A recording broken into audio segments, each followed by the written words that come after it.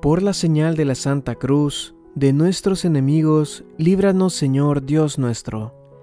En el nombre del Padre, y del Hijo, y del Espíritu Santo. Amén. Acto diario de consagración a San José.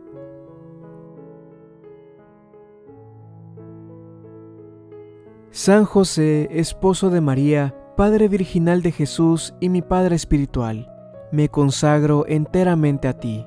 Abrazo amorosamente tu paternidad y me refugio bajo tu sagrado manto paternal. Ayúdame hoy a rezar y a ser virtuoso. Instrúyeme en la sabiduría de los santos. Protégeme de los engaños del enemigo. Ayúdame a no pecar.